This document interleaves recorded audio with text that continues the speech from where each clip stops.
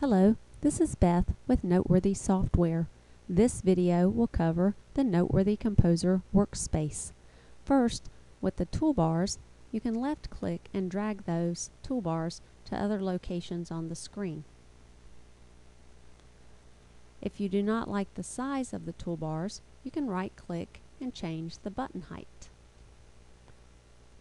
Right click, button height. If you'd like to change the item shown on the toolbar, go to View, Toolbars, and Customize. For example, if you'd like to remove Print and Print Preview, go to the File toolbar and double click on those items and you'll see that they are being removed. If you need things to go back to the way they were when Noteworthy Composer was installed on your computer, simply check Restore Defaults and they will be returned to the way it was when Noteworthy Composer was installed. You may also want to change the size of the notation on the screen and that is done with View Zoom and you can zoom in or zoom out. And this does not change the printed notation, it's only the notation that you're working with in the editor.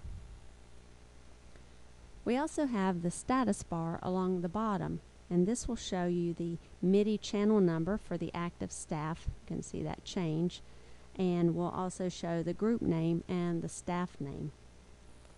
During playback this area will become a counter for where you are and you can change that by clicking in the area if you want to move toward the end of the song, the beginning of the song, and the middle.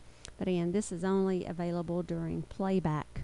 You can also choose which song you want to be active of what you have open and open a new file or something you've worked with in the past. Lastly, we have the panels. Along the top is the bar number panel that shows you where you are during the song, what measure number. And again, this is not for the printed staff.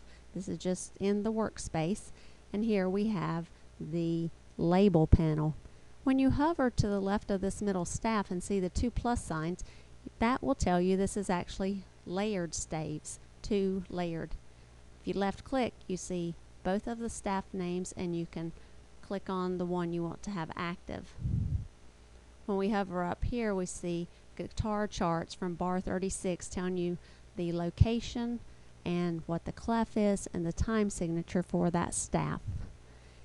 You can also choose the staff properties or what you want to be layered, how you want them to be bracketed all along this panel.